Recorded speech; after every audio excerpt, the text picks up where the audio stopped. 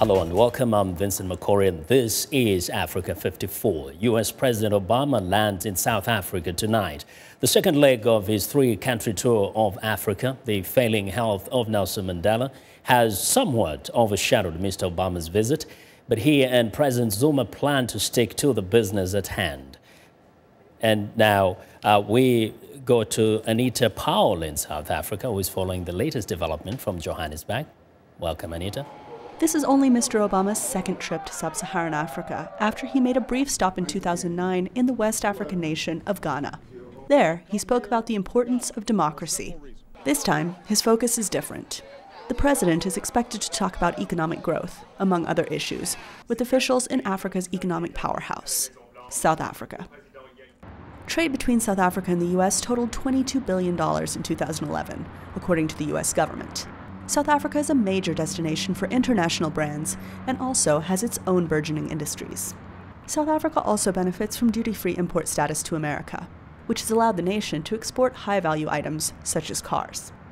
South Africa has also made its own move to boost trade by becoming the newest member of BRICS, a group of emerging economies comprising Brazil, Russia, India, and China.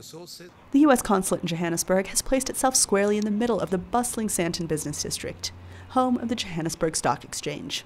Senior commercial officer Larry Ferris says trade between Africa and the U.S. is growing and changing. The interesting thing is, is it's gone from being just primarily a focus on import of of, uh, of, raw materials and primary products to be one that, that, that, shows a lot more diversity and a lot more interest in uh, looking at both trade in, in, into the U.S. and into South Africa in areas that are uh, represent higher value, represent technology, represent a lot of where the growth in the international markets are.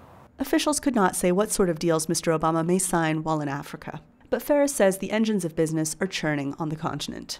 I think there's a, there's a lot of excitement about some of the things that are going on in Eastern Africa right now, where a number of the countries there have, have come together uh, working on free trade agreements, working on increasing uh, connections between their countries, infrastructure and the like, and all that is really good for business. At the same time, there's a real focus in that part of the, of the continent on making a really solid business um, environment.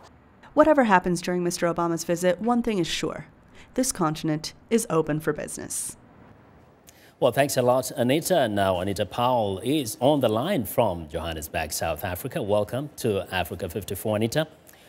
Thanks. Now, uh, the president is arriving uh, hopefully shortly in South Africa, but uh, during the day, there was excitement on the streets of South African cities, particularly Pretoria. Tell us what was that all about? So, about 1,000 protesters, including trade unionists, um, Muslim advocates, and communists, uh, marched to the embassy in Pretoria. Um, they burned some flags. They protested uh, the, the president's foreign policy, some of his military decisions.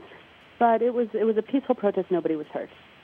Yes, uh, but all the same, we know that uh, business will go on as usual as of now. Uh, give us a sense of uh, the mood there. We, we know that uh, uh, people are in a kind of a somber mood because of the situation with Nelson Mandela. Right. People's enthusiasm for Barack Obama's visit is very much dampened by the situation with Nelson Mandela.